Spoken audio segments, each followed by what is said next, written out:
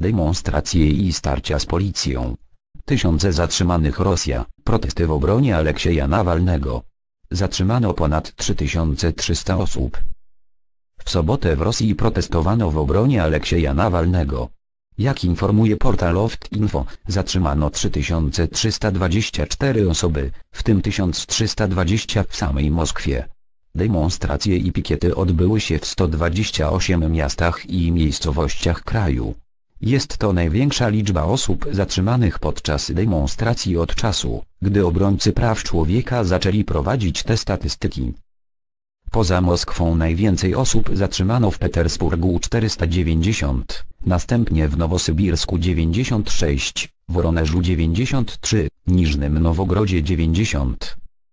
Trzy sprawy karne w Moskwie Komitet Śledczy wszczął po demonstracji trzy sprawy karne.